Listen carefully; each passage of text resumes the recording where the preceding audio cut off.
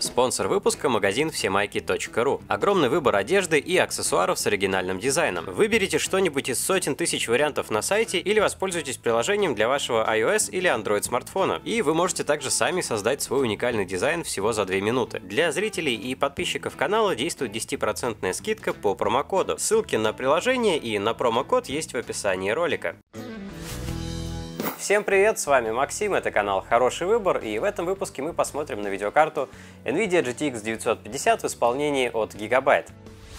Как по мне, это был самый необычный запуск бюджетной видеокарты в линейке, как со стороны компании, то есть в нашем случае NVIDIA, так и со стороны производителей. Но об этом давайте мы поговорим ближе к концу ролика. Начнем мы с тестов, и первое, о чем хотелось бы сказать, это об охлаждении и об уровне шума. Просто я в интернете встречал несколько мнений, несколько статей о том, что у гигабайтовской версии очень шумное охлаждение, и, в общем-то, меня этим так пугали и предупреждали, но лично я ничего такого не заметил, проверял видеокарту на открытом стенде, она находилась вот примерно на таком же расстоянии от меня, как сейчас, то есть меньше метра, и даже под нагрузкой, ну, особого какого-то шума я не услышал. Естественно, если видеокарта будет в корпусе и под столом, будет все гораздо тише, ну, вот для примера дам вам э, послушать. Ну вот микрофон сейчас э, на одинаковом расстоянии от меня и от видеокарты. Просто вам для ориентира вот мой голос. Говорю просто, как я обычно говорю в жизни. А, ну и давайте чуть-чуть поближе его к видеокарте поднесу.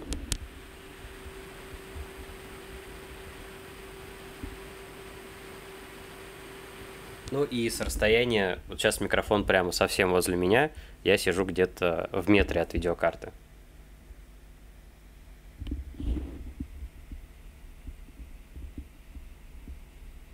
Итак, 950 карточки сейчас существует только в варианте с двумя гигабайтами видеопамяти на борту. И я очень сомневаюсь, что появится версия с одним или с четырьмя гигабайтами. Ну, с одним я еще могу поверить, Теоретически, наверное, это даже имеет какой-то смысл, но четырех навряд ли. Не успел я раздобыть карту сразу после ее запуска, так что в интернете уже полным-полно тестов 950-х от разных производителей, от гигабайтов в том числе. Причем, как мне кажется, это даже хорошо, потому что вы в интернете без труда можете найти тесты этой карты с i5, с i3, с i7 процессорами, с теми же FX. А раз уж мне досталась такая возможность, как бы вот в последней волне таких тестеров оказаться, я буду тестировать видеокарту с сразу с очень бюджетным процессором, а именно с Athlon 860K. Возможно, в будущем я повторю тесты с более мощным процессором, но что-то я тоже в этом сомневаюсь, потому что опять-таки этих э, данных просто навалом. Прежде чем приступим к официальной части, пару слов о спонсоре. Я сижу в футболке из магазина всемайки.ру. Это моя любимая футболка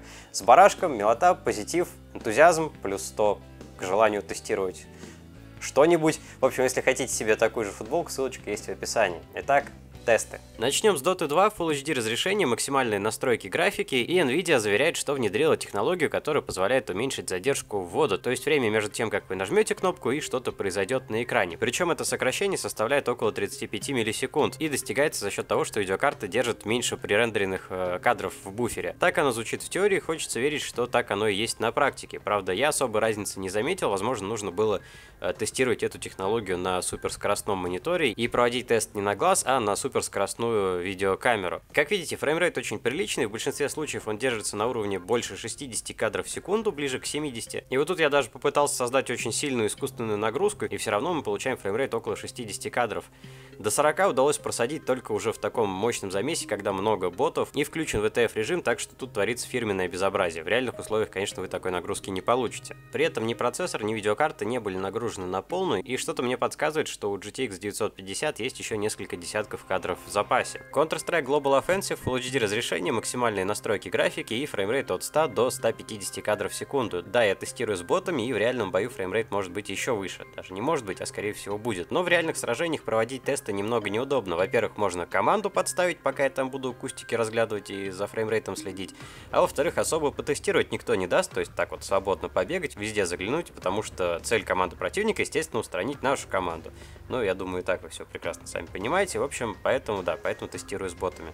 Ведьмак 3. Начнем с высоких настроек, как с высоких основных, так и с высоких дополнительных. И на природе в начальной локации мы получаем около 36 кадров в секунду. В начальной деревеньке 32-34 кадра. Давайте попробуем поставить ультра настройки, но без NVIDIA Hairworks, и также постпроцессинг выкрутим на ультра. В деревеньке фреймрейт просел до 22-24 кадров в секунду, а на природе всего лишь до 29-30. То есть в городке мы потеряли около 10 кадров в секунду, на природе около 5-6 FPS. Что меня порадовало, видеокарта во время теста была нагружена полностью, при том, что у процессора еще остается небольшой запас. Ну и наконец давайте посмотрим на GTA 5. Дополнительные настройки изображения на минимуме, графика на высоком уровне в основном, некоторые настройки опущены как разновидность населения, чтобы уместиться в доступный размер видеопамяти, напомню, всего 2 гигабайта. И как мы видим, в ненагруженных сценах фреймрейт очень даже радует, он около 50 кадров в секунду, но стоит выехать на какой-нибудь нагруженный перекресток, где много людей, машин, и фреймрейт опускается до 33-34 кадров в секунду. Стоит свернуть какой-нибудь менее нагруженный переулок, и фреймрейт снова стремится там к 40-50 кадрам. При этом, если мы посмотрим на нагрузку, то видим, что процессор уже нагружен под завязку, а видеокарта всего лишь наполовину. Давайте попробуем выкрутить настройки на ультра, при этом мы превысим доступный объем памяти, потому что игре потребуется около 2600 мегабайт.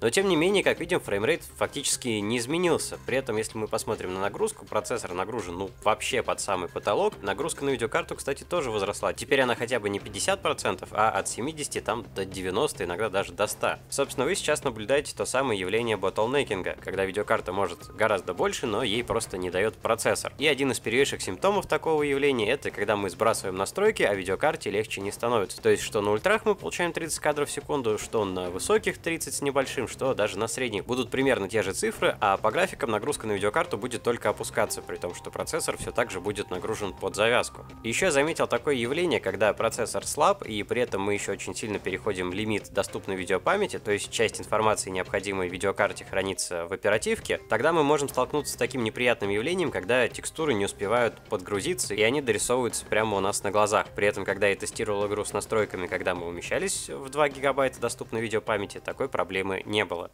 Почему я вначале сказал, что это очень необычный запуск бюджетной видеокарты? Потому что э, Nvidia позиционирует видеокарту как такое бюджетное решение для игр типа Dota, Counter-Strike, Лиги Легенд, в общем, чего-то такого не очень требовательного. И тем не менее, огромное количество производителей выпускают э, версии 950 с очень таким внушительным внешним видом, с прокачанным охлаждением, как тот же, например, гигабайтовский Event Force и гигабайт вообще на базе 950 начали, э, запустили точнее новую э, линейку охлаждений, новую линейку видеокарт, в общем, Gaming 3 она, кажется, называется, но мы с ней э, поближе только на Игромире сможем познакомиться. В общем, как- как-то слишком э, много внимания к бюджетной видеокарте, потому что обычно там 750 и 650 это были просто такие невзрачные на вид э, карточки с минимально необходимым охлаждением. Плюс сама Nvidia запустила и эксклюзивно предоставила некоторые технологии именно для 950 линейки. Причем заявлена такая серьезная штука, как сокращение задержки ввода, то есть Э, сокращение времени между тем, как вы нажмете кнопку и увидите действие, происходящее на экране. Казалось бы, эта технология должна в первую очередь появиться на топовых видеокартах линейки на 980, на 980 Ti, там, на Титане. Причем ведь это чисто драйверная фишка, и в теории ничего не должно мешать этой технологии работать на всей 900 линейке. Такие вот вопросы меня мучили до тех пор, пока я не получил видеокарту на руки и уже не смог ее протестировать лично. И тут все стало на свои места. Да, это довольно необычный запуск, и к нему приковано довольно большое количество внимания. Все потому, что, ну, несколько важных причин, несколько основных причин. Во-первых, бюджетные видеокарты продаются гораздо быстрее и гораздо бодрее, чем топовые решения. При том, что 950, являясь младшей моделью в линейке, без проблем тянет все современные игры в Full HD разрешение на высоких настройках с очень приемлемым фреймрейтом. Естественно, к ней будет больше внимания, кулеры получше для лучшего разгона и вообще, чтобы внешний вид был более такой презентабельный.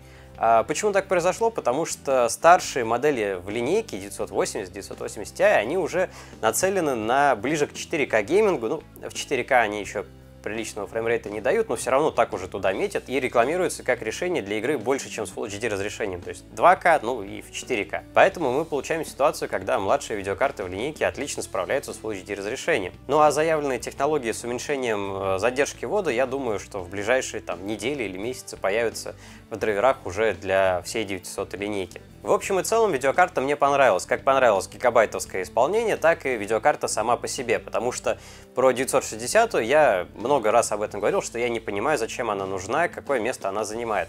С выходом 950 я 960 не понимаю еще больше, потому что, исходя из э, более точных, чем мои тесты, которых полным-полно, опять-таки, в интернете, мы видим, что 950 по производительности, ну, очень близка к 960. По большому счету получается такая же ситуация, как у 980 Ti и у Титана. У них фактически идентичная производительность в играх. Но здесь может разница побольше, хотя где-то она все еще идентична, где-то от 2 до 5 кадров в секунду, при том, что разница в цене между ними около 3 или 4 тысяч рублей. Если бы 950 была бы еще хотя бы ну, долларов на 10-20 подешевле, то есть еще бы ну, на полторы тысячи рублей дешевле, это был бы просто вообще сногсшибательный вариант.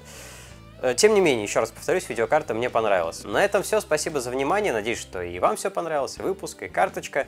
Подписывайтесь на канал, рассказывайте друзьям, загляните в описание, там ссылки на нашу группу ВКонтакте, на Инстаграм со спойлерами, посмотрите, какая там движуха идет, и увидимся с вами уже в новых выпусках. Пока!